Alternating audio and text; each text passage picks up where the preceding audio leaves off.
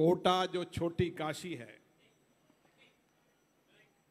लघु भारत है, जिसमें देश भर का विद्यार्थी यहाँ कोचिंग कर कर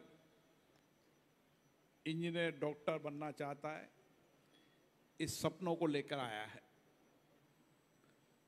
और यहाँ पर इन सपनों को पूरा करने के लिए जिस कड़ी मेहनत कठिन परिश्रम और आत्मविश्वास से आप पढ़ रहे हैं, मेरी आप सबको शुभकामनाएँ हैं।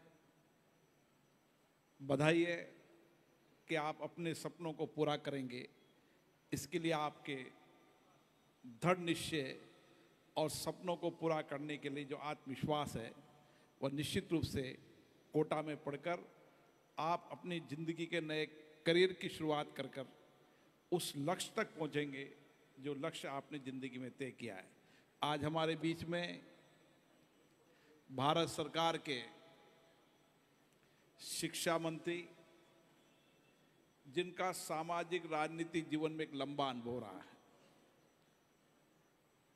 जिन्होंने छात्र जीवन से अपने करियर की शुरुआत की और समाज के अंतिम व्यक्ति के सामाजिक आर्थिक जीवन बदलाव करने के लिए एक लंबा प्रयास रहा। उनका एक राजनीतिक सामाजिक जीवन में एक लंबा अनुभव रहा है।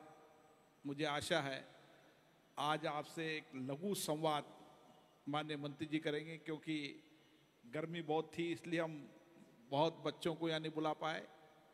उन बच्चों का भी, कभी संपूर्ण बच्चों का भी एक साथ संवाद माननीय मंत्री जी और प्रधानमंत्री जी से होगा।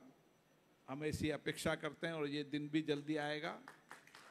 जब केंद्र के शिक्षा मंत्री और माननीय प्रधानमंत्री जी कोटा में आएँगे और लघु भारत की तस्वीर जिसमें सभी कोचिंग के विद्यार्थी होंगे, उनको सबको पर्याप्त मौका मिलेगा। क्योंकि आज कई बच्चों ने कहा कि हमें मौका नहीं मिल पा रहा, जगह इतनी थी, संख्या बहुत है, लेकिन आप निश्चित मानिए, आज मंत्री जी का जो आपसे संवाद होगा, उसमें नया आत्मविश्वास जागेगा, नई प्रेरणा जागेगी और आप अपने सपनों को, लक्ष्यों को पूरा कर पाएँगे। आप सबको बहुत बहुत शुभकामनाएँ। मंत्री जी कोटा पधारे, इसके लिए उनको बहुत बहुत धन्यवाद।